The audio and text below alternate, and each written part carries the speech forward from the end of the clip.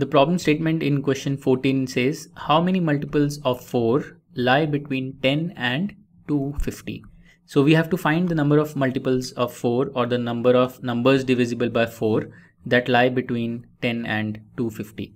Now this question is quite similar to the question to the previous question. So if you want to understand the key idea behind how to solve such questions better, just refer to the last the solution of the last question.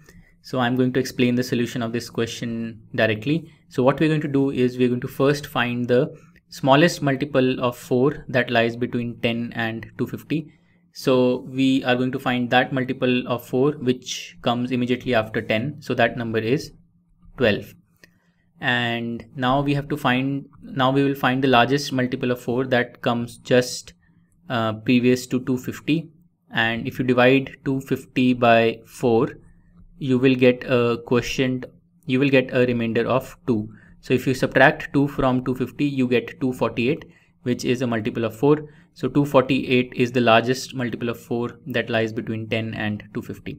So the smallest multiple of 4 is 12 and the largest multiple of 4 is 250 uh, is 248 uh, with the constraint that these multiples lie between 10 and 250. Now the other multiples if we write them out so the next multiple after 12 will be 16 then it will be 20 then it will be 24 and so on. So all these multiples of 4 clearly form an arithmetic progression and the first term of this arithmetic progression is 12 and the common difference is 4 because to go from any multiple of 4 to the next multiple of 4 we will have to add uh, plus 4. Now the last term or the nth term is 248 so let's write this as tn is equal to 248 now we have to basically find the number of terms in this arithmetic progression. That will give us the number of multiples of 4 lying between 10 and 250 and to do that we can just find the position of this last term the index of this last term. Basically we can find the value of n. So let's do that.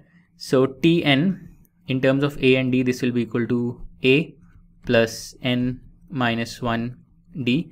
Let's plug in the values so tn is 248 a is equal to 12 and d is equal to 4 so we get 12 plus 4 times n minus 1 and now let's simplify. So we get 4 times n minus 1 is equal to 248 minus 12 so that's 236 and this means that n minus 1 is equal to 236 by 4 uh, this is equal to uh, 59 okay so n minus 1 is equal to 59 and this means that n is equal to 1 plus 59 or n is equal to 60 so the index of 248 in this AP is 60, which means that there are 60 terms in this AP, or in other words, there are 60 multiples of 4 that lie between 10 and 250. So that's our answer.